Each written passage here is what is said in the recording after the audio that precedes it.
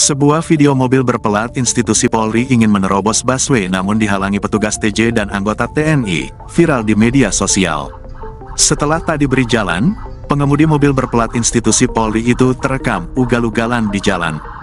Video peristiwa tersebut viral dibagikan akun Instagram @kamerapengawas.it, Jumat, tanggal 20 Oktober tahun 2023. Diketahui video tersebut direkam oleh pengendara mobil lain yang ada di tempat kejadian.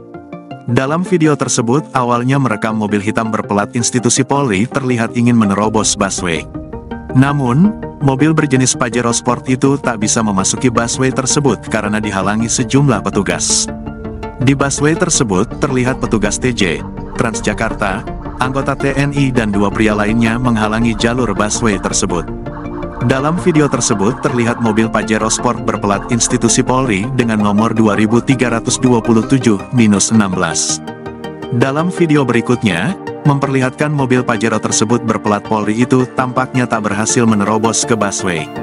Ia terlihat berada di jalan di belakang pengendara mobil yang sempat merekam. Namun, dalam rekaman video tersebut terlihat pengendara mobil Pajero tersebut menyalakan strobo. Mobil Pajero itu disebutkan terlihat ugal-ugalan melewati sejumlah mobil lainnya yang melaju antre padat merayap. Sementara mobil Pajero tersebut memotong jalan tengah dan terlihat nyaris menabrak mobil perekam. Kini, video mobil Pajero berpelat Polri menerobos busway itu menarik perhatian warganet. Sejumlah warganet memberikan komentar beragam. Hingga artikel ini dimuat belum diketahui secara pasti mengenai waktu dan lokasi kejadian dalam video viral tersebut.